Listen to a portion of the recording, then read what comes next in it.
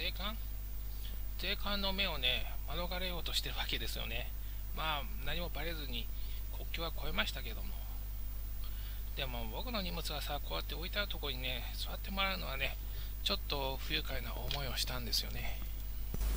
車輪を付け替えた車両が全部連結されて、そしてまた国境の方に進んでいきます。高架の道路の下に踏切があって、古びた車が止まっていたり、人々も遮断機の手前で待っていましたね。錆びれたこんな建物が素晴らしいですね。いい味出しております。こんなね、錆びれた建物はね、もう今2020年はどうなってんですなんかね、いい建物が建ってますね。美しいね。なんかこんなマークがついておりますよ。しょうかね。少し発展しちゃってなくなっちゃってたりするんでしょうかね。多分ね、ブレ、ブレストって書いてあるんじゃないかな。これ、こ今のが国境の駅ですね。国境の駅ではあのパスポートとか見せたんで、多分その模様はね、時はビデオを撮ってなかったと思います。これはもう終わった時かな。もうね、そのおばさんもね、立ち去って、また、ま、窓席に座れた時から撮ってると思いますね。もうこれはポーランド側に入ったのかもしれませんね。どうでしょうか。5時30分ですね。時間がね、時差があるとね、時間がね、またね、繰り上がったりするんですね。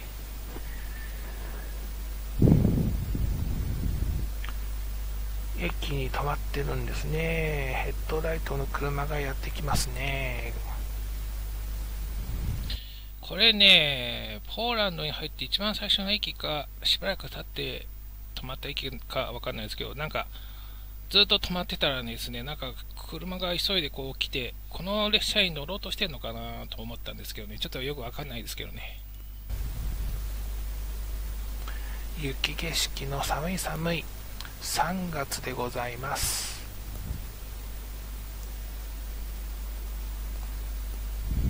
夕暮れ時ですね。ヘッドライトの車が行ったり来たり人が歩いたりしております。この後ですね夜通しポーランドを横断していきますポーランドもね一度はね、ゆっくり旅してみたい国の一つでございます。6時38分ってなってますね。ワルシャワの駅はね、地下だったと思いますね。まあもうこんな暗くなったらもう見えませんけどね。テーブルにいろいろ散らかっておりますね。食べ物とかね、タオルとかね。夜9時15分になっております。これ地下ホームっぽいよようにな見えるじゃないですか。多分ね、これね、ワルシャワの駅ですね。夜だったんでトンネルっていうふうに思っていて、空は抜けているのかちょっとわからないですけどね。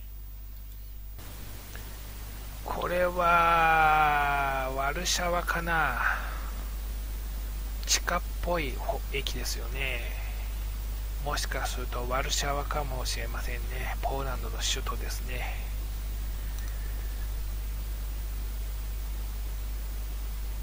やっぱりポーランドはポーランドの首都となればねちょっと近代的でございますね夜の9時時間地元のね時間とね差がなければですね夜のラッシュアワーが過ぎてちょっと静まり返ったようなそんな駅でございますね。今からこの電車に乗り込んで旅をする人もいるんじゃないでしょうかね。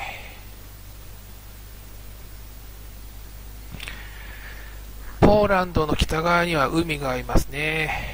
バルト海っていうんでしょうか。どうでしょうかね。で東側にはえーと、ベラルーシですね、北の方にロシアの飛び地があったりするのかな、ちゃんと地図を見てみないとわからない。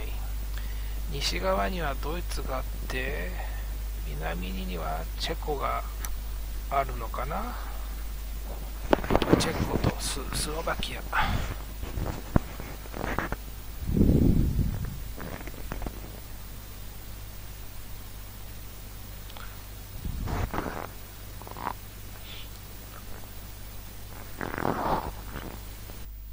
これ朝4時になってるじゃないですか。もうこれねドイツに入っております。でですねドイツ国境線のドイツ側の駅名がフランクフルトってなってるんですけど有名なフランクフルト駅ではなくてもう一つのフランクフルトなんですよね。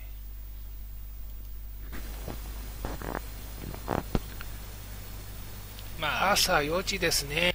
まあちょっと見えなかったとも思いますけどねええ早朝でございますもうフランクフルトって書いてありますけども、有名なフランクフルト駅ではないですね。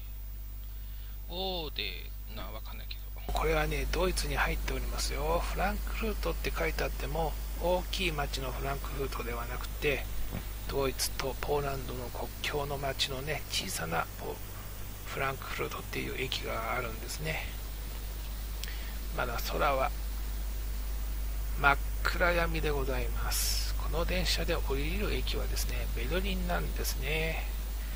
ただね、ベルリンにもね、いろんなベルリン駅があってね、どのベルリン駅が終点なのかがわかんなくてですね、車掌さんとかもね、あんまりいないんですよね。どっかにいるんだろうと思うんですけどもね、聞きたい時にそばにいないんですね。もうすぐ5時半ぐらいですね。初めてのヨーロッパに突入いたします。ヨーロッパといっても西ヨーロッパですね。ドイツ・ベルリンといえば知識としてはこの当時はまだユーロがなかったからですね。ドイツマルクに両替をしなければいけません。あとね森妖怪とかね昔の医療日本の医療はドイツから学んだのでですねそういう関係がですね歴史的に分かうっすらとねはっきりとは分かりませんけどなんとなくそんなイメージがしております。ゆっくりと初めてのドイツの風景。暗闇で何も見えませんが街明かりを一生懸命8ミリビデオで捉えようとしております。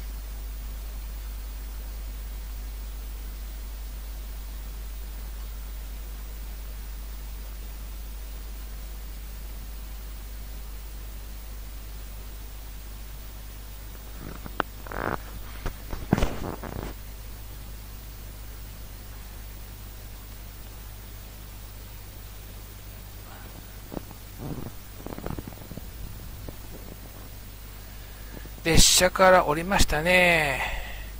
どうやらこれ以上列